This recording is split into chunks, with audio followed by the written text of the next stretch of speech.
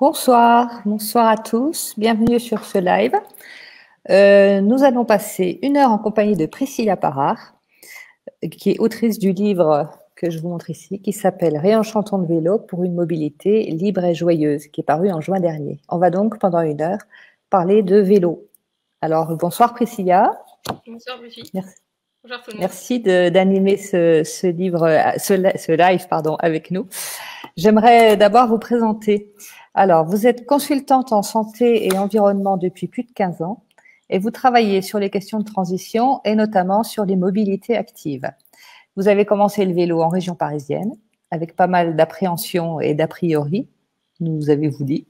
Aujourd'hui, le vélo fait partie de votre quotidien. Vous pratiquez le vélo taf, mais aussi le cyclotourisme pour de courts ou plus longs voyages.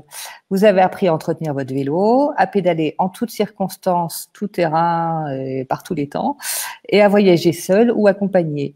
On devine donc que vous êtes très engagé avec une grande envie de partager votre passion pour le vélo. Est-ce que j'ai tout dit? Est-ce que est-ce qu'il en manque? J'apprends à réparer le vélo. Je suis pas encore euh, encore autonome, mais voilà, je me forme. Alors, je rappelle euh, à tous les internautes qu'ils peuvent poser des questions dès maintenant. Et puis, en attendant que les premières arrivent, je voudrais juste vous donner une petite info. Donc, cette semaine, c'était la semaine de la mobilité qui se termine demain. Et aujourd'hui en particulier, c'était la journée du Challenge Mobilité Régionale, organisée pour, pour la onzième année consécutive par la région Auvergne-Rhône-Alpes, dans notre région en tout cas. Et donc, c'est une manifestation qui invite les établissements de la région à inciter leurs salariés à venir au travail au moyen d'un mode alternatif à l'automobile. La marche, le vélo, les transports en commun ou alors en covoiturage. Et alors, pour la petite histoire, à Terre Vivante, dans le cadre de cette journée, sur 33 euh, salariés, 10 aujourd'hui sont venus au travail à vélo sachant que nous sommes situés en moyenne montagne, dans un environnement qui n'est pas forcément facile pour la pratique du vélo. Est-ce que, Priscilla, est-ce que selon vous, ce chiffre est révélateur et, de quoi? Ah oui, c'est, je pense, c'est un chiffre qui est tout à fait révélateur euh, d'un certain engouement pour le vélo. Et on peut dire que le vélo vraiment commence à devenir un moyen de transport à part entière, notamment pour tout ce qui est déplacement utilitaire, hein, qui est le cadre du vélo TAF, hein, euh, qu'on appelle mouvement pendulaire pour aller au travail. Et je dirais qui plus est dans votre contexte, hein, puisque comme vous l'avez très bien dit, vous êtes en zone de moyen montagne, donc euh, avec du rural et du périurbain. Et c'est vraiment là aussi que le vélo a vraiment pris de l'essor. Et donc je pense que c'est très révélateur euh, ce chiffre-là euh, d'un tiers de salariés qui choisissent le vélo dans ces conditions-là pour venir au travail. Voilà.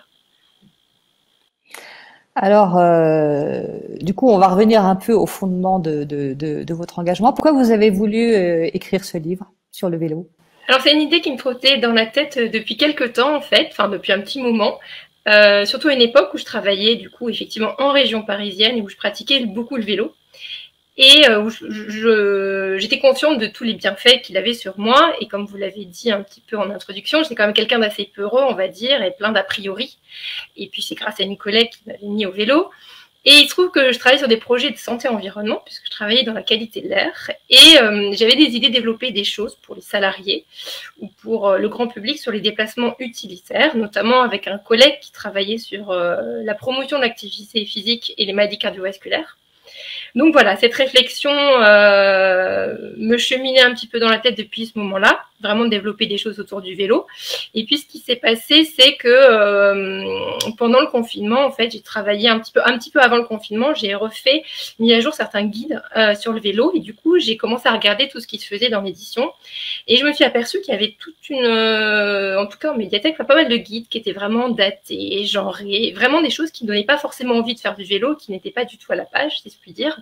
Et donc l'idée, c'était vraiment de faire un livre qui donne envie de faire du vélo. Et l'idée, c'était aussi de restituer euh, l'expérience que j'avais eue et comment je me suis mise au vélo avec mes a priori.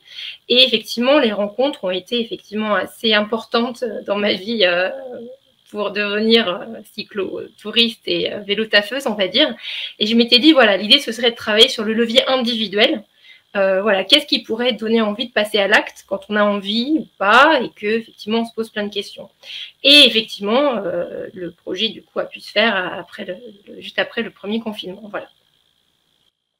Alors, euh, bah alors justement, parlons-en. C'est quoi les bénéfices du vélo, que ce soit pour pour le cycliste, pour, pour la planète, pour qu'est-ce qui, qu'est-ce qui fait que le vélo est une pratique vertueuse entre guillemets? Bah justement, c'est qu'il a plein d'avantages dans pas mal de domaines. Et effectivement, moi j'ai voulu faire un livre sur le vélo comme outil de la transition écologique et solidaire, mais il se trouve que les gens qui font du vélo, même ceux qui sont écolos, c'est pas le premier euh, argument mis en avant. C'est vraiment l'argument euh, bien-être, euh, qualité de vie, santé.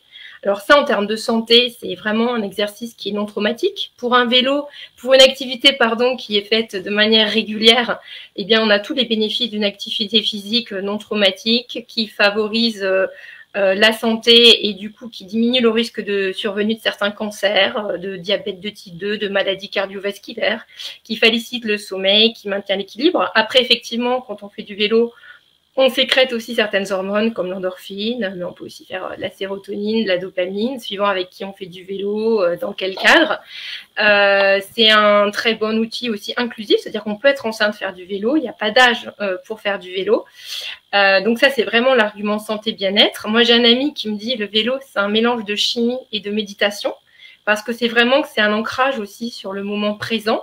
Ça permet de se relier à soi aussi. Euh, donc ça, c'est aussi euh, un argument de qualité de vie. Ce que vous me disiez pour l'environnement d'une manière générale, ben, effectivement, c'est un mode de transport qui n'est pas émissif. Donc on ne pollue pas en vélo. On est aussi moins exposé à la pollution. Euh, encore plus quand on roule dans des pistes cyclables, mais même si on circule dans le plein de trafic. Pourquoi? Parce que on pédale, on n'a pas forcément d'effet d'hyperventilation si on pédale je veux dire, à une vitesse de 10 à 15 km heure, on va dire, sur du plat, parce qu'effectivement, on n'a pas d'habitacle.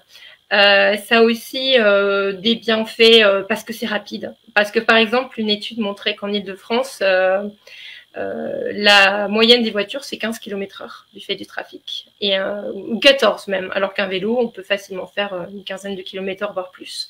Donc, il y avait déjà une chanson de Jodassin qui disait en 1972, à vélo, on va plus vite qu'en auto. Euh, et puis c'est fiable en fait. Si on part à l'heure à vélo, on arrivera à l'heure en fait. Euh, puisqu'on peut se faufiler dans des bouchons. Et, enfin, si on a des pistes cyclables, euh, voilà, on n'aura pas de problème de, de, risque plus que ça. c'est un... Contrairement à ce qu'on pense, le vélo, c'est pas dangereux au sens où il ne provoque pas très peu d'accidents. C'est plutôt la voiture qui provoque les accidents. Et puis, c'est ce qu'on appelle un ambassadeur de la low-tech, en fait. Donc, c'est assez facile à réparer c'est peu coûteux. Et effectivement, que ce soit pour l'usager ou pour la collectivité, c'est vraiment euh, un des meilleurs outils, on va dire, avec la marche, euh, sachant que c'est plus rapide encore. Euh, vraiment un, très bon outil, très rentable pour l'utilisateur et puis pour la, pour la société et la collectivité. Voilà. Et alors, à l'inverse, est-ce qu'il y a des freins à la pratique du vélo? Oui, il y a des freins. Alors, il y a des freins qui sont liés à certains a priori qu'on peut lever comme par exemple euh, le temps. Hein. Dans les pays du Nord, on dit qu'il n'y a pas de mauvaise météo pour le vélo, il n'y a que de mauvais équipements. il faut savoir qu'une étude, par exemple, dans Libération, avait montré qu'en termes de vélo taf, hein, on va dire de vélo euh, pour le, pour le boulot, hein, mouvement pendulaire, la météo, enfin la pluie n'est pas un argument qui freine le vélo taffeur parce qu'on sait s'équiper et que finalement, statistiquement, je crois qu'on est mouillé euh, une trentaine de fois sur à peu près plus de 200 jours de, vélo par an. mais par contre, il y a d'autres leviers qui sont importants. Euh, par exemple, le vol de vélo. Alors là, effectivement, par exemple, en France, il y a à peu près 400 000 euh, vols de vélo par an. Donc ça, c'est vraiment un frein.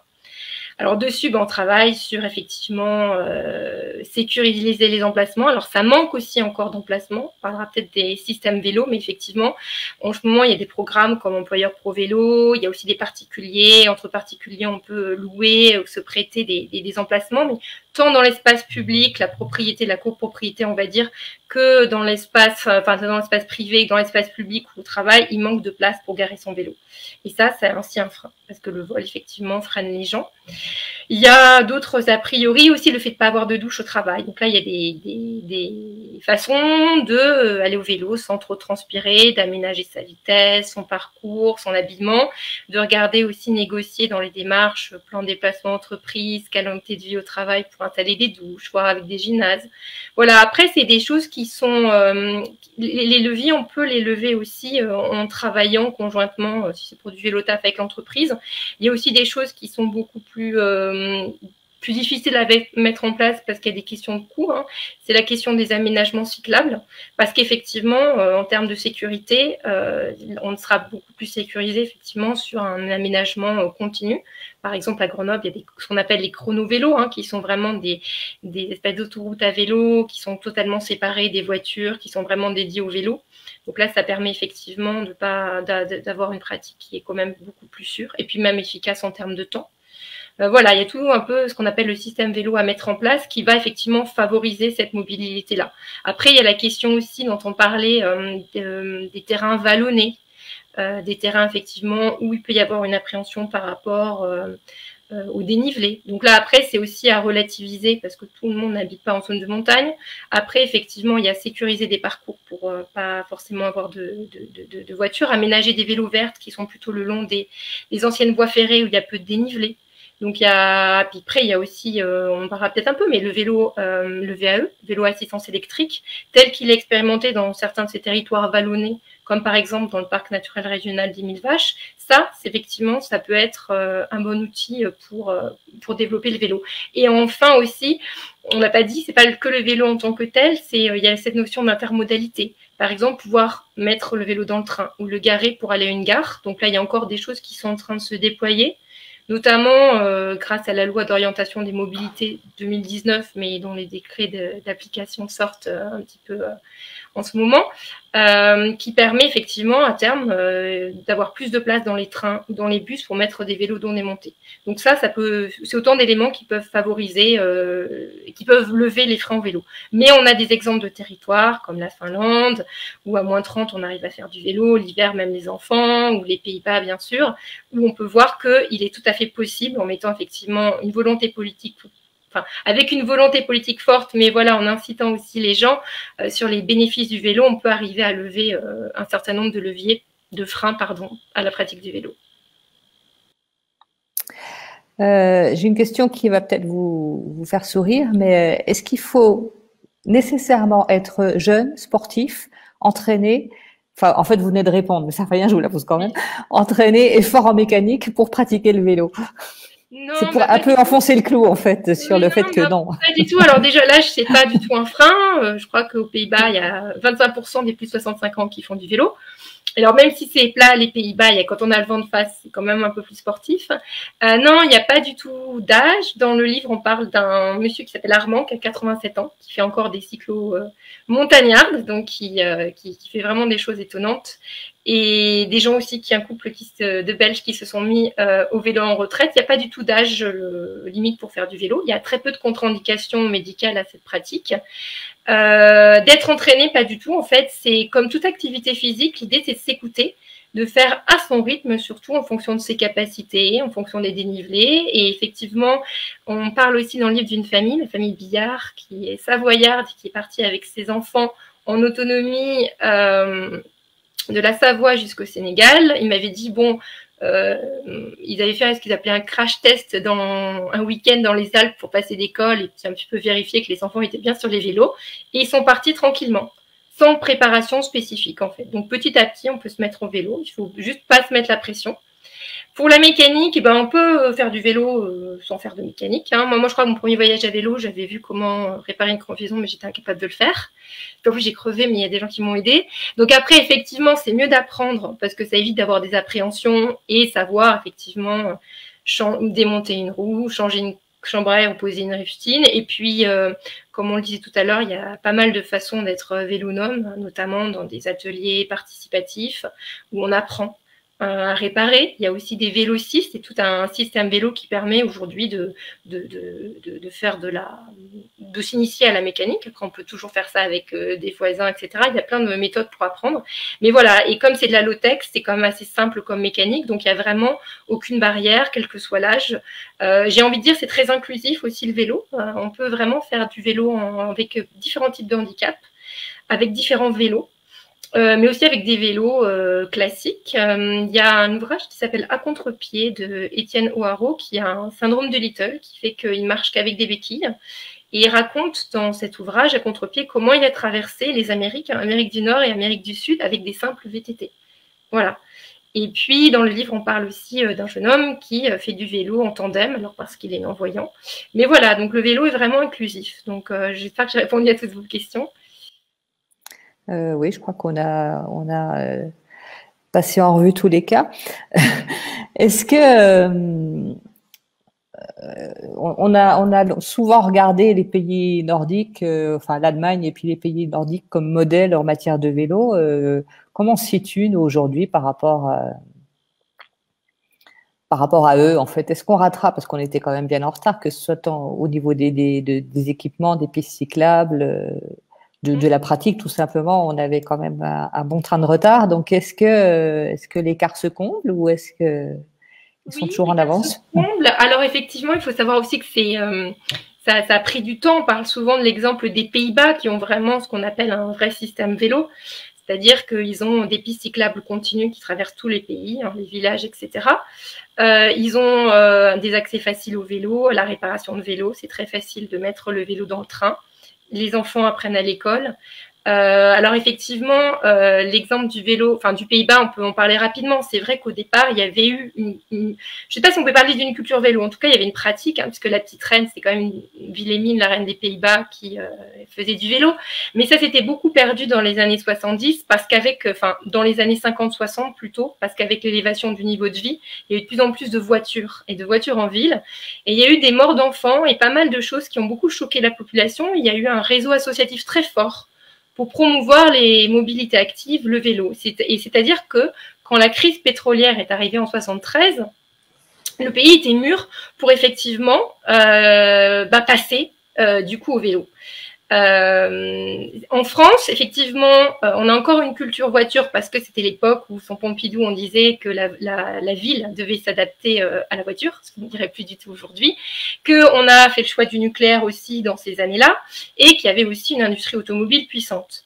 Voilà. Aujourd'hui, effectivement, il y a beaucoup d'aménagements cyclables. Il y a aussi un travail énorme de fond de plein d'associations de promotion du vélo, comme tout le réseau de la, FUB, la Fédération des usagers de la bicyclette, des réseaux comme le, les réseaux de l'eurocyclage, les mouvements vélorutionnaires.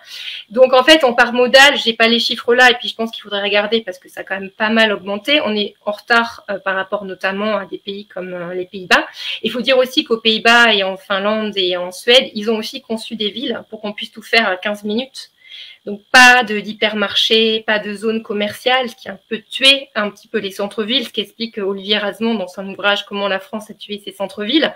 Et donc le fait que tout soit à portée de vélo, à favoriser cette mobilité-là. Donc en France, on commence à y revenir en retravaillant sur un urbanisme euh, qui soit propre aux mobilités actives, donc marche à pied, vélo. On redéveloppe l'intermodalité. Et je pense que le grand boom qui est lié, euh, qui a commencé avec les grèves de fin 2019 et avec les deux déconfinements, euh, sur un terreau qui était prêt parce que préparé par le tissu associatif, associatif, pardon, bah voilà, fait qu'on comble. Alors effectivement, il y a des moyens qui sont mis. Alors, je crois que la, la Convention citoyenne pour le climat demandait plus de moyens. Donc, je ne sais pas si ça, a été revalorisé, parce qu'il faut aussi des moyens pour développer des pistes cyclables. Même si on est d'accord, les aménagements cyclables, je crois qu'une piste cyclable, c'est 50 fois moins cher que euh, qu'un métro ou 200 fois moins cher qu'une autoroute urbaine à même débit d'usagers, donc euh, et sans les externalités négatives, par exemple, euh, des, voies en voiture. Je pense qu'en France, il y a quand même des moyens qui sont mis avec des financements sur le plan national vélo, des fonds sur les mobilités actives. On parlait tout à l'heure du forfait mobilité durable. Il y, a il y a aussi un programme employeur pro vélo pour développer la mobilité euh, pendulaire, euh, des fonds pour déménager les aménagements, pour développer pardon les aménagements cyclables, notamment un projet là qui s'appelle Pro Vélo, non, à vélo 2. Euh, donc les lauréats, je crois, ils sont sortis la semaine dernière. En fait, c'est pour des collectivités qui soient justement en périurbain, en milieu rural, pour développer des aménagements. Donc la France, elle est en train de combler son retard, mais elle met des financements et puis il y a quand même des gens qui développent la pratique. Et aussi, comme on disait, c'est pas c'est pas qu'une pratique euh, en milieu urbain qui se développe, et ça c'est très encourageant, c'est aussi en milieu rural et en périurbain. Et ça effectivement, mais il faut effectivement, comme on dit, l'accompagner vraiment par des moyens forts, des aménagements, aussi des, des, remises en selle à vélo, travailler sur le enfin, sur le levier individuel et tout, ce qui pourrait freiner les pratiques. Et effectivement, il faut reconstruire un imaginaire aussi. On parle beaucoup des nouveaux récits hein, dans la transition écologique, mais créer des récits, euh, des nouveaux imaginaires liés au vélo, parce qu'il y a encore beaucoup euh, d'a priori, d'images reçues sur le vélo, etc. Et déconstruire aussi euh, l'image de la voiture, ce qui est aussi dans un rapport du Shift Project. Et aussi décourager euh, l'usage de la voiture en ville, mettre des zones apaisées à 30 degrés, faire payer le stationnement, etc. Pour encourager en fait ces pratiques-là. Mais oui, pour répondre à vos questions, on est en train de combler le retard. Voilà. Ouais. Et c'est quoi les meilleurs, les, enfin, je veux pas mettre les villes en compétition, mais c'est quoi les, les meilleurs endroits pour faire du vélo en France aujourd'hui? Bah, en France, euh, moi, je veux, je veux pas du tout stigmatiser une ville contre l'autre, et puis je connais pas tous les endroits. Je sais que, par exemple, à Grenoble, parce que j'habite à Grenoble, on est très bien lotis, parce que au niveau de la métropole, il y a eu vraiment la mise en place de ce qu'on appelle le système vélo. Alors, effectivement, la ville est plate, hein, c'est la ville la plus plate de France, donc déjà, voilà, c'est très agréable à pédaler. Il y a ces fameuses chrono-vélos qui permettent effectivement d'être en itinéraire séparé euh, des voitures, mais on a plein d'autres pistes cyclables. Il y a plein de systèmes de location de vélos donc, c'est des fameux métro-vélos qui sont, euh, selon le coefficient familial, en fait, euh, on peut payer, euh, je crois que le minimum, c'est 48 euros à l'année, sachant que dans le service, on a la réparation du vélo. On peut louer également des vélos cargo, donc ce sont des fameux vélos porteurs, si on a des enfants, si on a des choses à porter, etc. On a dans l'écosystème grenoblois beaucoup d'ateliers de réparation pour apprendre la vélonomie. On a des systèmes de co-vélotage, on a vraiment euh, beaucoup de choses qui sont en place. On a aussi des, pas mal de stationnements euh, et sécurisés au niveau des gares. On a des métro box, hein, des box à vélo, des systèmes de consignes. Donc voilà, c'est vrai que pour s'initier au vélo, c'est euh, puis des cours de remise en selle aussi avec des associations. Donc je pense que c'est en tout cas en termes de ville, c'est vraiment une ville qui est très agréable pour pour faire du vélo. Alors, dans, dans, tout ce que vous venez de dire, il y a, il y a une sorte de, jargon du vélo en fait qui se dessine. Est-ce qu'on peut revenir là-dessus? Parce que j'ai noté quelques mots euh, dans le petit vocabulaire du vélo. Donc il y a le gravel, il y a le vélo cargo que vous avez évoqué. On parle beaucoup de vélo taf. Euh, il y a les randonneuses, il y a les vélos mobiles, les VAE voir le VTP. À un moment dans le livre, vous, vous citez le VTP, que c'est une appellation non homologuée. Je pense que vous expliquerez pourquoi. Vous avez parlé aussi de vélonomie. Est-ce que vous pouvez euh, nous expliquer un peu tout ça Parce que oui, il y a un vrai vocabulaire spécifique en fait. Et c'est vrai que dans le livre, en fait, on a fait un, un petit glossaire, et c'est vrai que du coup, enfin, moi, j'aime pas non plus parler trop. Euh, je trouve qu'il y a un hermétisme des fois dans dans certains secteurs qui justement sont des freins à la pratique. Et donc voilà, c'est bien d'expliquer ce qui peut être du jargon. Donc le vélo taf, hein, ça vient de vélo et travail. Donc c'est le vélo, euh, expression un petit peu consacrée pour les gens qui utilisent le vélo dans leur déplacement pendulaire, enfin pour aller au travail. Euh, les différents types de vélos, bah, il y a le VTT qui est connu, qui est le vélo tout-terrain, mountain bike, qui sont vraiment des vélos pour des chemins accidentés, des amortisseurs, des pneus assez larges, etc. Euh, il y a le vélo de ville, le vieux clou, qui peut être euh, un très bon vélo, comme les vélos hollandais qui sont plutôt des, des pneus fins qui sont faits pour, euh, pour la ville. Euh, on a euh, ce qu'on appelle la randonneuse. Alors là, c'était plutôt les vélos de voyage qui sont à la fois euh, confortables et qui ont une ergonomie pour des gens qui voyagent loin. Donc, il faut qu'ils concilient la solidité et l'ergonomie. Donc, souvent, les guidons sont très confortables et s'ils sont ce qu'on appelle en corne de vache, en fait, comme ça, on peut vraiment s'appuyer dessus. Le, les cadres, ils peuvent être en différents matériaux, mais souvent, on conseille de l'acier parce que si on le casse en voyage, on pourra toujours le faire ressouder à l'autre bout du monde.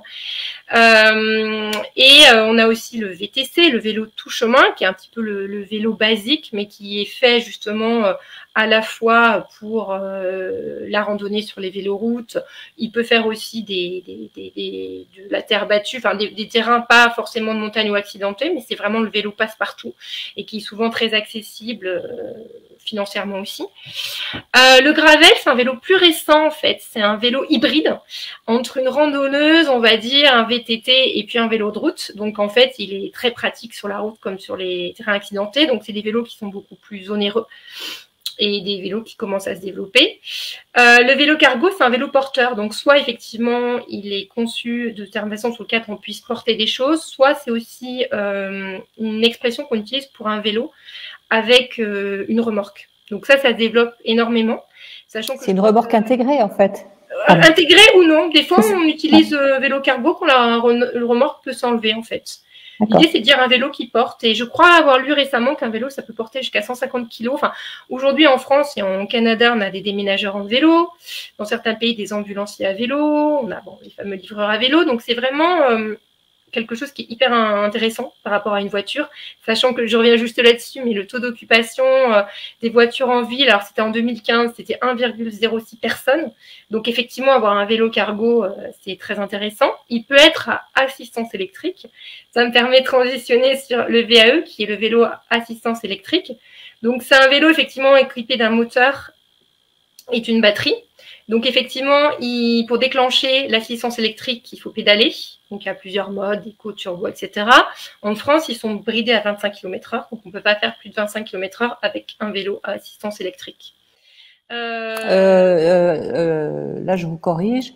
On peut faire plus de 25 km à l'heure, oui. ah, mais, mais, mais, le, le, moteur se, ne se déclenche pas au-delà de 25 km/h. En fait, c'est plutôt ça, non? Oui, oui, excusez-moi, c'est que je me suis très mal exprimée. C'est-à-dire que c'est bridé, euh, le moteur est bridé. Euh, vous pouvez toujours pédaler plus vite, mais euh, voilà.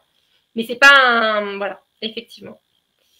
Euh, je sais pas qu'il y avait comme terme d'autre. Euh, j'ai noté la vélonomie. C'est quoi la vélonomie? Alors la vélonomie, c'est euh, être autonome à vélo. Alors, les, le, le, monde du vélo aime bien vélorussion, vélonomie, tout ce qui est vélo, vélosophie.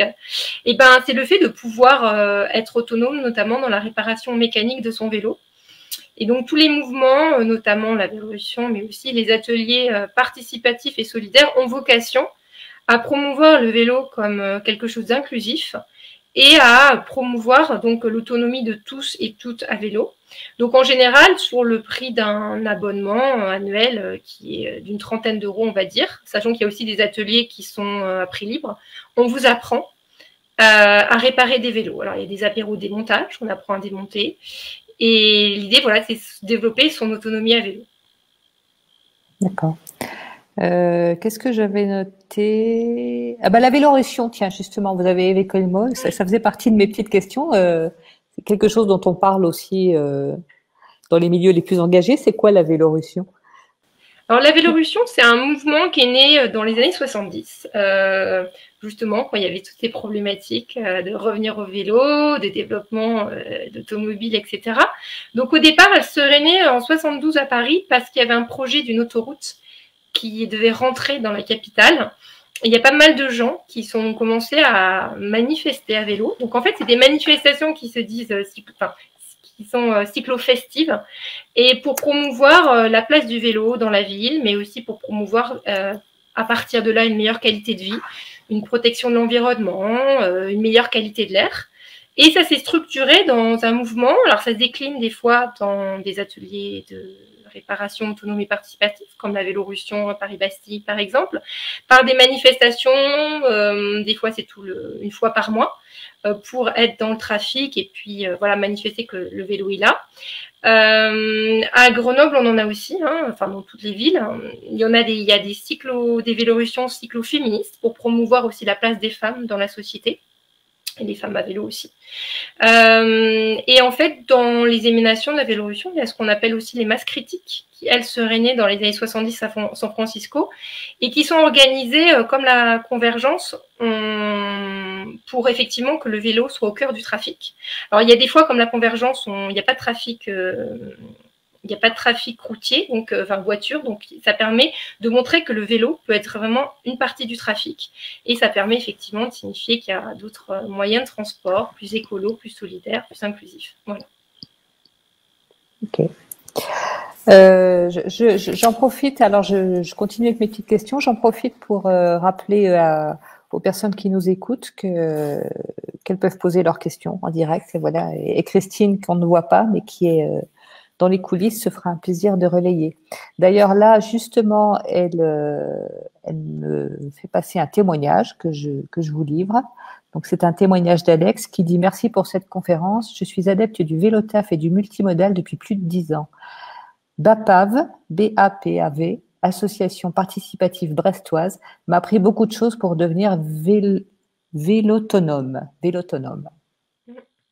Ça, c'est une expression qu'on n'avait pas vue encore. euh, on a donc vu qu'il y avait beaucoup de choses qui avaient été faites pour sortir un peu le, enfin pour euh, pour développer le vélo. Donc les, les pistes cyclables, les coups de pouce vélo du gouvernement, le, les primes mobilité vélo, les équipements. Et qu'est-ce qui reste à faire encore? À, part, enfin voilà, développer tout ce tout, tout ce dont vous avez parlé. Euh, Est-ce qu'il y a encore des choses à faire euh, Je sais pas, qu'on n'aurait pas imaginé ou qui se font dans les pays voisins qu'on ne fait pas encore en France. Que euh, ben, je pense que justement, je crois que le dernier euh, appel à projet ADEME, l'idée c'était de mettre en place ce fameux système vélo dont on parlait, euh, qui, calquait, enfin, qui calquait, oui, en partie sur justement Copenhague ou les Pays-Bas. Donc développer ce système qui permettrait à tout le monde de, de, de pédaler. Je pense qu'il y a aussi des efforts à faire, et il y a des travaux là-dessus, par exemple sur les questions de genre. Donc il y a des, dans certains ateliers vélo, notamment dans le les réseaux de le recyclage, il y a euh, une formation euh, sur le genre, sur notamment euh, lutter contre les discriminations au niveau des pratiques, quand on répare les vélos, donc lutter contre le sexisme bienveillant notamment. Euh, qui est de faire à la place de l'adhérente, non, chacun peut faire euh, aussi. Euh, aussi au niveau de l'urbanisme et du genre, hum, je crois qu'il y a une étude qui a été faite par l'Université de Bordeaux qui montre que la ville est un espace genré et que par exemple, s'il y a moins de femmes à vélo, c'est que souvent les femmes ont les enfants, elles ont un pas souvent les hommes ont un parcours plus direct, donc je vais directement au travail, mais les femmes qui ont souvent la charge des enfants doivent emmener, déposer les enfants à l'école, faire les courses, etc. Les aménagements en vélo peuvent pas permettre forcément de garer, il y a pas, c'est trop étroit pour garer un vélo cargo. Euh, des fois, les trottoirs sont trop surélevés pour passer à vélo, donc c'est plus accidentogène pour le coup. Donc, euh, il y a des problèmes d'éclairage qui sont liés à la sécurité aussi la nuit. Euh, donc, voilà, il y, a, des travaux qui sont un petit peu expérimentaux. En tout cas, je sais qu'ils ont été menés du côté de Bordeaux, qui sont menés dans certains ateliers vélo sur le genre. Il y a effectivement euh, le dernier appel à vélo dont je parlais pour effectivement essayer de sécuriser et développer les pratiques dans les milieux ruraux ou périurbains. Mais là, effectivement, comme on disait, ça passe vraiment aussi par des aménagements ou des accompagnements euh, il y a aussi euh, faire une frontière plus poreuse entre le cyclotourisme et le vélo euh, utilitaire. Donc il y a des territoires qui au départ ont développé le vélo pour des raisons touristiques aujourd'hui qui sur ces mêmes itinéraires cyclables essayent de développer des mobilités du quotidien. Euh, il y a une initiative, par exemple, dans le parc naturel régional du Luberon, hein, qui a des petites villes et puis des terrains ruraux, qui avait développé pas mal d'itinéraires, le Luberon à vélo, avec la particularité, alors c'était déjà des pionniers parce que c'était en 96, il n'y a pas de piste cyclable, mais ils ont choisi des petits itinéraires avec des villages de montagne pas de montagne, mais des, peu, des petits villages un petit peu perchés. Et l'idée, c'est qu'ils sont arrivés à une très bonne mobilité en termes touristiques. Puis il y a des gens qui viennent de partout euh, sur euh, ces parcours-là.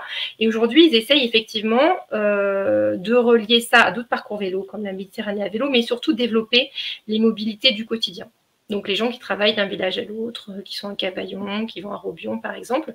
Donc voilà, il y a, y, y a, ça un petit peu à développer. Il y a, je pense aussi, on disait, le levier individuel pour euh, travailler sur euh, montrer que le vélo, enfin je pense qu'il faut aussi faire l'expérience du vélo pour dépasser les a priori. Euh, travailler sur installer des douches aussi au niveau de, de, de, certaines euh, structures euh, de, professionnelles, de, formation. Et puis il y a aussi ce chiffre qui est qu'aujourd'hui on est quand même dans une urgence climatique. Hein. On va pas ressortir le rapport du GIEC qui est sorti le 9 août dernier, mais en tout cas en France, les gaz à effet de serre, c'est 31% le transport intérieur, hein, dont 53% la voiture. Il y a encore beaucoup d'autosolisme. Je crois qu'il y a à peu près la moitié des gens qui, pour un parcours inférieur à 5 km, prennent la voiture, sachant qu'un trajet inférieur à 5 km, je crois que c'est 60% des déplacements domicile-travail. Donc là, il y a vraiment, euh, du travail à faire. Sur la formation formation des enfants, formation des, adultes en remise en selle. Donc là, effectivement, je parlais tout à l'heure de la loi d'orientation des mobilités de 2019 qui est en train de combler un peu certaines lacunes sur la formation. Mais voilà, je pense que l'idée, c'est vraiment de faire masse critique, comme le phénomène des masses critiques, et montrer que le vélo, c'est aussi le trafic. Et euh, voilà, de, parce qu'on, j'ai traversé aussi pendant l'été certains territoires où effectivement il n'y avait pas de piste cyclable et qu'on soit à pied à vélo, je trouvais que les, voitures allaient très vite parce qu'il n'y avait pas forcément de culture euh, sur les mobilités actives parce que les gens avaient beaucoup l'habitude de faire, je sais pas, 20-30 km par jour. Donc on était vraiment dans un système voiture. là, il faut essayer de le changer aussi, même culturellement, j'ai envie de dire. Je, je, reviens juste sur un point, c'est sur le, la femme à vélo, parce que je crois que c'est quelque chose qui vous tient vraiment à cœur. Vous en parlez, euh, vous en parlez beaucoup dans votre livre, euh, enfin beaucoup. Il y, a, il y, a, tout un chapitre euh, de mémoire qui est consacré. il y a beaucoup de témoignages féminins.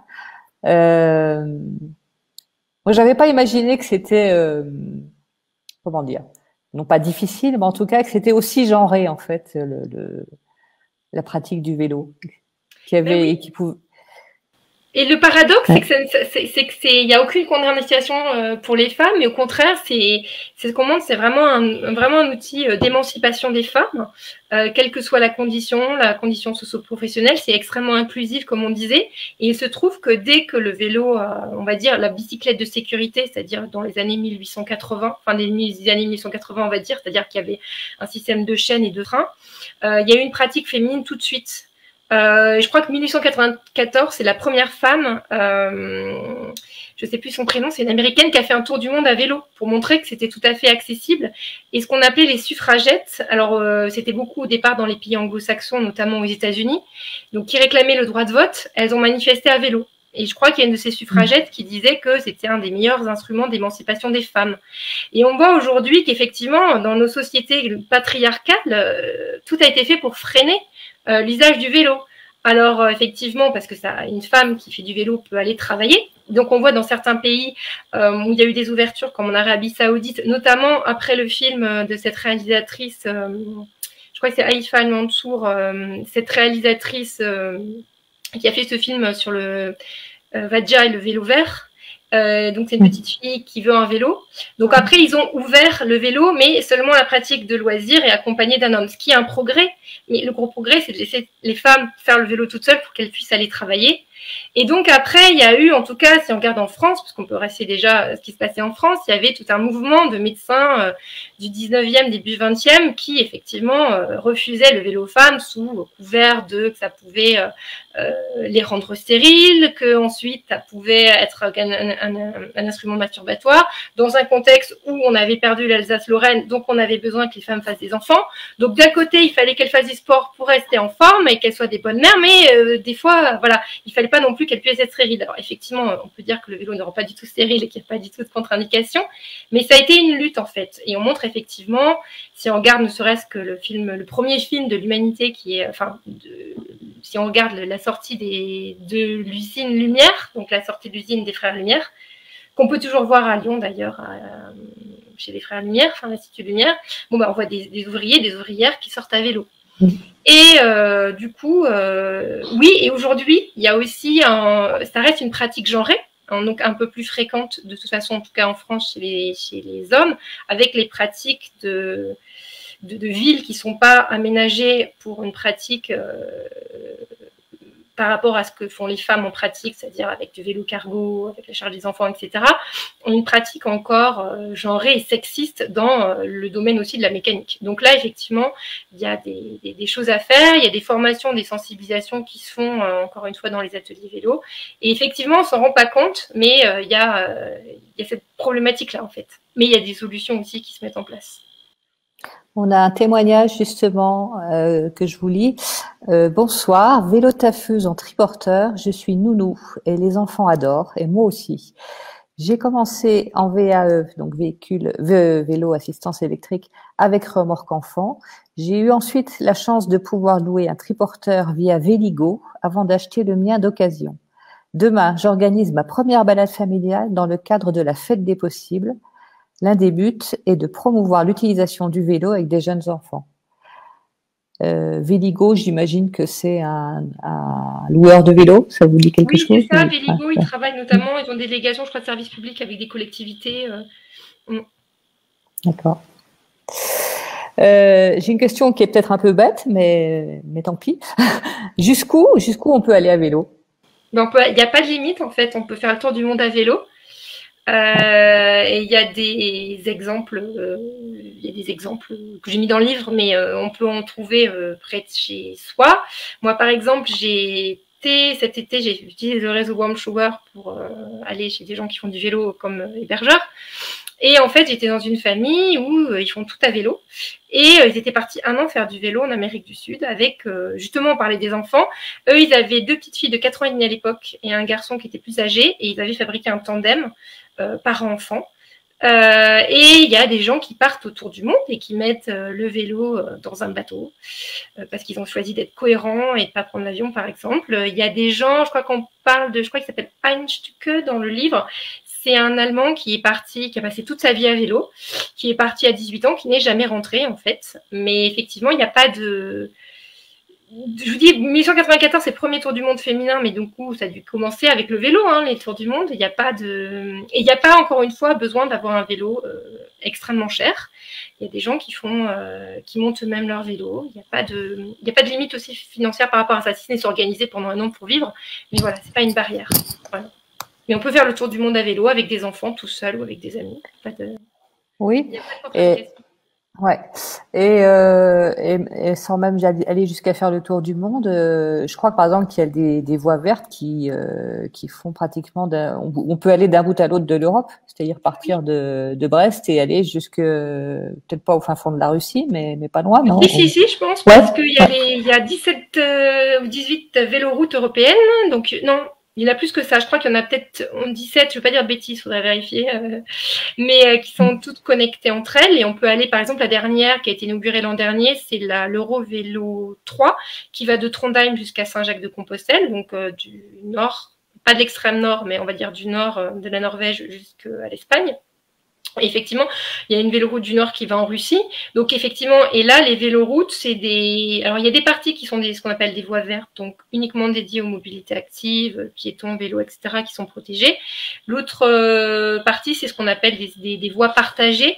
Mais en fait, c'est des voies qui sont partagées et jalonnées, donc euh, qui sont euh, avec des balises en fait, qui sont des panneaux de signalisation et qui sont étudiés pour qu'il y ait peu de circulation, une faible déclivité et qui soient du coup accessibles à tous les donc effectivement, si on prend le réseau Véloroute qui fait, je crois, quelque chose comme 18 000 km en France, il faudrait quand même vérifier les chiffres. On peut traverser toute l'Europe à vélo sans problème et en famille. Et il y a beaucoup de familles qui le font chaque année. Euh, est-ce est-ce que c'est un budget? Le vélo. Est-ce que c'est un budget conséquent? Est-ce que euh, c'est pas un budget conséquent parce qu'effectivement il y a des aides par exemple euh, comme je dis ça euh, sur l'agglomération grenobloise si effectivement pour louer la location de longue durée c'est une très bonne façon de commencer le vélo. Parce que par exemple selon son on peut pour 48 euros à l'année avoir un vélo et avoir le coût des réparations de la maintenance comprise dedans on peut aussi aller dans des ateliers d'autoréparation et racheter un vélo à 15 euros. Alors après, il faut tout le rebricoler, mais pour 15 euh, à 30 euros par an, on apprend à le réparer en atelier avec des gens qui vous forment à le faire. On peut aussi, euh, alors le coup de pouce vélo a aidé aussi. Hein. on peut aussi aller, euh, aujourd'hui il n'existe plus, mais chez un vélociste pour faire réparer son vélo. Je crois qu'il y avait une comparaison que je mets dans le livre. Je crois que l'entretien d'une voiture, c'est entre 6 000 et 10 000 euros par an alors qu'un vélo, c'est entre 50 et 100 euros, on va dire, euh, par an, parce que c'est bien au moins une fois par an d'aller euh, emmener sur en vélo, si on n'est pas vélonome, chez un vélociste, pour qu'il vous fasse un bon check euh, du vélo. Et si c'est un VAE, on dit que c'est à peu près 300 euros par an. Mais on peut toujours effectivement faire de la location récupérer de l'occasion. Surtout que ces fois, c'est mieux d'acheter un vélo d'occasion avec qu'on appelle les pièces d'usure de qualité qu'on va réparer, etc. Donc, on a l'assurance d'avoir un vélo solide. Et un vélociste me disait qu'effectivement, un bon vélo, ça dure 50 ans, ça pourrait durer toute une vie. Euh, mais effectivement, si on veut du sur-mesure, il y a des artisans qui font ça, ça peut aller jusqu'à 8000 euros. Mais effectivement, le, le frein euh, au vélo n'est pas, enfin, c'est pas un frein financier. Ça coûte plus cher que de marcher à pied, c'est sûr, ce qui pose aussi des problèmes sur certains territoires, euh, comme la Guyane, où on a vraiment des populations très pauvres et une mobilité subie. Donc là, il y a un gros travail d'atelier participatif pour vraiment ouvrir la location et la vélonomie. Mais effectivement, c'est quand même, encore une fois, un outil euh, de déplacement inclusif. Et c'est en cela qu'il est aussi révolutionnaire quelque part. Oui, et puis on peut reparler peut-être aussi du problème du vol.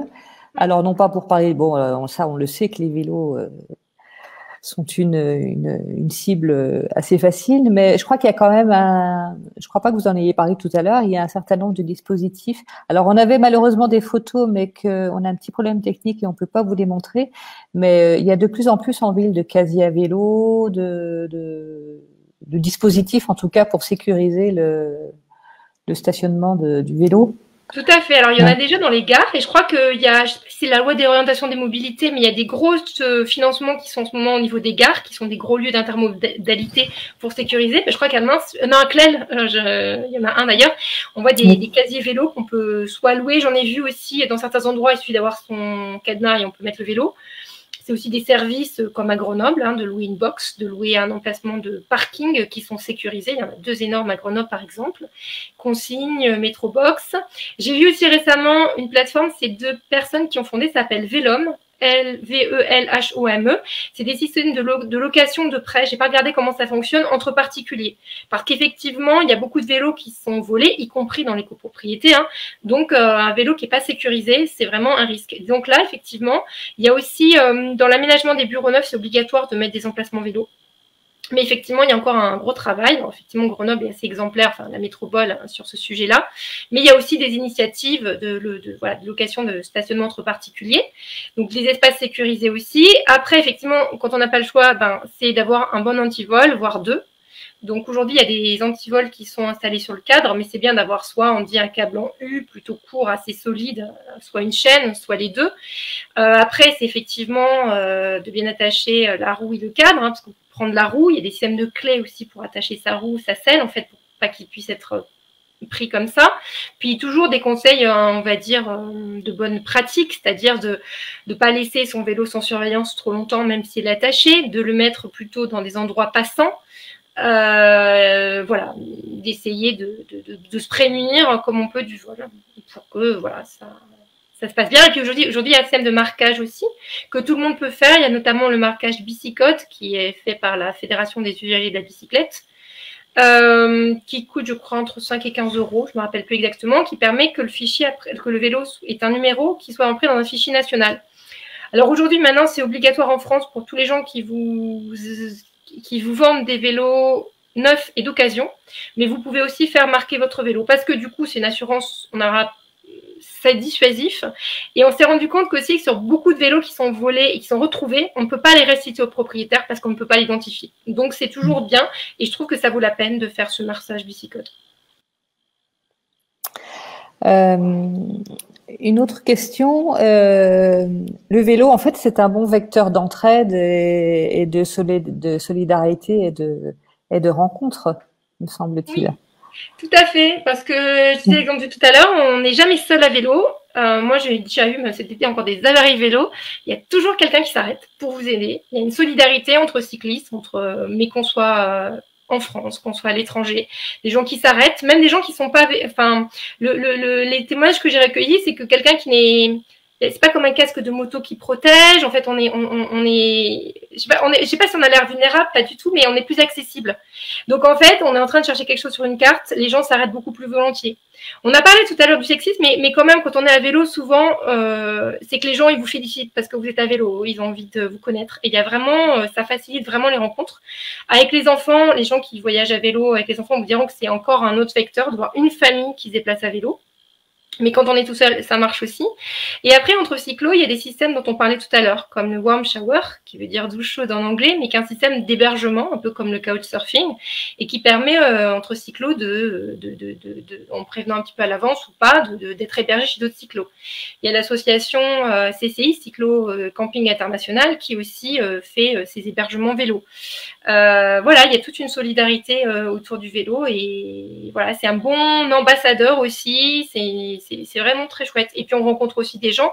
Les gens qui font de sur demande vous diront toujours qu'à un moment, ils ont passé une semaine avec d'autres cyclos, qu'ils se sont fait aussi accueillir spontanément sur la route, parce que l'idée du voyage à vélo, enfin ce qui ressort des témoignages en tout cas, et d'expériences que j'ai pu avoir, mais beaucoup de témoignages, c'est que les gens voyagent avant tout pour rencontrer, et que les rencontres, elles se font justement dans les campagnes, pas forcément en dehors des sentiers battus. Et c'est quand souvent on a des problèmes, des avaries, etc., que c'est là qu'il se passe des choses et qu'il y a des rencontres. Donc effectivement, le vélo est un super instrument de rencontre. Pour peu après qu'on ait cet esprit d'ouverture et qu'on ait envie de vivre ça, parce qu'on peut aussi, voilà. Mais en général, oui, je trouve que c'est un, très bon ambassadeur, comme vous dites, de rencontre. Euh, il existe, dans, votre livre, ce que j'ai trouvé intéressant aussi, c'est il existe beaucoup de littérature sur le vélo, euh, des récits de voyage, des romans, des essais, des réflexions philosophiques, des films. Euh, il, y a, il, y a, beaucoup, beaucoup de choses. Vous en citez un certain nombre. si vous deviez n'en recommander qu'un, ce serait lequel? Alors, alors, il y en a qu'il y en a beaucoup et il y en a de plus en plus. Donc en fait, ce que je veux dire, c'est que, et même pour les enfants, je l'ai pas mis parce que la littérature enfantine, elle est extrêmement prolixe. Plein de chansons, il y a plein de choses autour du vélo. Donc je pense qu'il y en a pour tous les goûts. Mais euh, j'aurais envie plutôt de mettre en exergue un livre de 1898, mais qui se lit très bien. C'est Voici des ailes de Maurice Leblanc. Donc Maurice Leblanc qui est connu pour euh, l'aiguille blanche, c'est ça? Les, les, ces romans. Bah, euh... Les Arsène Lupin. Euh... Ouais, Arsène Lupin. Hein, voilà, Arsène Lupin. Lupin. Et c'est un roman que j'ai découvert tardivement par une amie médiathécaire qui ne fait pas de vélo et qui m'a vraiment recommandé ce livre. Et je trouve que c'est une ode au vélo. C'est extrêmement moderne parce que ça, ça, ça part aussi de, d'amour de, libre en fait et de choses qu'on n'agirait peut-être pas aujourd'hui. Donc c'est, et puis de gens qui en 1894 partent de Paris à la Normandie, puis de Normandie en Bretagne. Il se passe des choses assez euh, extraordinaires. Donc, je trouve que c'est, ça parle des femmes aussi, ça parle pas mal de choses. Et je vous dis juste un, un petit extrait, je crois qu'on l'a mis dans le livre, parce que c'est, très beau de, de, parler du vélo comme ça. Donc, en parlant de la bicyclette, il dit, elle est plus forte que la tristesse, plus forte que l'ennui. Elle est forte comme l'espérance. Elle réduit les soucis à leur valeur. Elle nous éloigne du passé. Elle nous apprend à vivre dans le présent et à marcher vers l'avenir c'est la grande libératrice. Donc voilà, ça résume ça, que le vélo, c'est vraiment un instrument de liberté, de méditation, d'être euh, mm. à soi et aux autres en même temps. Et je trouve que c'est euh, très beau, c'est plein d'élan et c'est une écriture qui, qui, est vraiment tout public. Faut pas qu'on puisse penser que c'est un frein parce que c'est quelque chose de vieux. Et ça montre aussi que le vélo ne date pas d'hier. Et que, mm. euh, voilà. Donc je, je, pense que c'est tout public. C'est pour ça que je, je choisis ce livre-là, je pense. Il est assez universel. Euh, il va être 21h. Euh, je pense que on va peut-être bientôt s'arrêter. J'ai quand même encore euh, au, moins une question avant. C'est c'est quoi votre dernier voyage à vélo? Alors là, je suis juste partie quelques jours cet été. J'étais partie faire du bushing en Bretagne et je me suis dit je vais rejoindre des amis et donc c'était dans la côte Finistère Nord, entre en gros entre Brignogan-Plage, le Conquet et Brest. Ben, je suivi la côte à vélo. Et c'était très chouette parce que les journées étaient très longues et on pouvait aussi se baigner, euh, visiter des choses. Parce qu'en fait, moi j'aime bien le cyclotourisme, c'est-à-dire pas être dans la performance, mais euh, s'écouter. Et puis on avait tellement été confinés ces dernières années que du coup, ben, de prendre ce bol d'air d'océan et de Bretagne, c'était vraiment très chouette. Et si je pouvais juste vous dire un truc avant qu'on parle, parce qu'on n'a pas parlé du VTP tout à l'heure. Ah oui. Quelqu'un qui parlait, Adrien, c'est le vélo tout pourri. Et ce que je voudrais dire aux gens, parce que mon livre a fait vraiment pour aussi faire aimer le vélo et des gens qui sont loin de la pratique, c'est hyper important, même si vous avez un vieil vélo qui roule très bien, c'est qu'il soit vraiment bien entretenu et bien réglé. Donc aller dans un atelier ou aller faire le régler sur un vélociste, parce qu'on peut être vraiment dégoûté du vélo. Si on a un VTP, c'est-à-dire un vélo qui est pas votre taille, des rayons cassés, des roues voilées. Moi, j'ai eu un problème de roues voilées cet été, c'était très pénible, donc il fallait s'arrêter et réparer. Et donc voilà, c'est vraiment en termes de sécurité, mais de plaisir et de confort pour que vraiment votre vélo soit du plaisir. Et il y a un vélo bien réglé, qui fonctionne bien, qui soit bien gonflé, euh, voilà, pour pas avoir de mauvaise expérience. On a un petit commentaire, je ne sais pas si vous avez vu que c'est affiché. Euh, quelqu'un qui était content que, que vous parliez de, la, de sa belle région bretonne. Donc... Et mais c'est pas trop vallonné la Bretagne pour faire du vélo? C'est pas trop? Question. Vallonné. Ben si, c'est vrai que ça monte et ça descend, mais euh, c'est vrai, mais c'est ça qui fait le charme. Comme disait aussi, euh, euh, je crois, Sylvie Palpan en, en, Provence, elle parlait, mais c'est valable pour la Bretagne. Alors déjà, c'est parce que ça monte et que ça descend que ça fait des si beaux paysages. Et puis, si on veut avoir l'ivresse de la descente, il faut, un petit peu monter. Et puis, c'est là aussi qu'on a toute la confiance en soi. Et puis, moi, je vais pas vite. Euh, du coup, j'aime bien des fois me prendre des petits moments dans l'année pour pédaler toute seule, pour pas me mettre la pression. Et puis là, je voulais me remettre en forme parce que j'avais passé deux années bien sédentaires, même si je fais du vélo le soir à Grenoble, mais je suis en télétravail. Et du coup, ben, ça m'a permis d'apprécier aussi la Bretagne à sa juste valeur. Je savais que ça montait, que ça descendait, mais le plaisir, il était vraiment là. À la fin de la journée, j'étais vraiment très contente. Voilà. Bon, ça fait envie en tout cas. Enfin, ça donne envie, je trouve. Oui. Et bah, bravo déjà à vous aussi qui, à Terre Vivante, avec euh, ces zones de montagne, arrivez quand même à aller au, travail tous les jours. Et je trouve que c'est super aussi. Alors, certains, certains le font à, vélo, euh, je ne sais pas comment on dit finalement, à vélo sans assistance, à vélo normal. D'autres, euh, dont je suis, le font à vélo électrique parce que quand même, ça fait pas mal de dénivelé, je trouve. Et, euh, et, voilà, mais c'est vrai que c'est une toute autre journée. Là, là, c'est une petite impression personnelle que, que je livre, mais euh, commencer sa journée en venant au travail à vélo, ça change tout. C'est vraiment, euh, c'est vraiment complètement différent. On est beaucoup plus éveillé, beaucoup plus, euh, je sais pas, réceptif euh, à tout ce qui va se passer après dans la journée ça rend alerte en fait. Je oui, trouve. ça rend très alerte. Justement, on en parle dans le livre euh, sur des expériences de vélo bus pour les enfants, c'est-à-dire des enfants qui vraiment conduisent un vélo en plus en autonomie. Les enseignants voient que les enfants qui arrivent à l'école et au collège sont beaucoup plus concentrés. Et donc du coup, c'est vrai que c'est euh, moi aussi j'ai ça, ça change la vie. Et c'est pour ça que j'ai un peu souffert aussi pendant le confinement de pas pouvoir le faire. C'est vrai que c'est c'est vraiment très bon et c'est vraiment en plus j'ai envie de dire le, le faire, faut faire du vélo parce que ça vous fait plaisir et que c'est une source de plaisir et de bien-être. Donc effectivement, je pense qu'il faut l'essayer, l'essayer bien sûr dans des bonnes conditions. Et voilà, on dit toujours l'essayer, c'est l'adopter, ce qui permet aussi de nous faire penser à. Il y a une très belle éloge du vélo. On en parle dans le livre qui a été fait par euh, Jacques Gamblin euh, au Parlement des écrivains et qui est un très très beau texte parce que Jacques Gamblin fait du vélo et un très beau film aussi qui s'appelle Laisser passer de Bertrand Tavernier qui en plus est disparu cette année. Mais voilà, je pense qu'il n'y a pas un type de vélo et que tout le monde peut prendre du plaisir à vélo et je pense que c'est euh, ce que j'aimerais que les gens y retiennent en fait.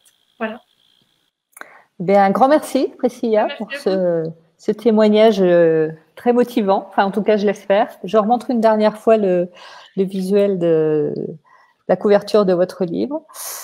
Et euh, bah voilà, j'espère que qu'on aura fait plein d'émules. Oui, j'espère aussi. Bonne soirée. Merci. Au revoir. Merci à, merci à tous ceux qui nous ont écoutés.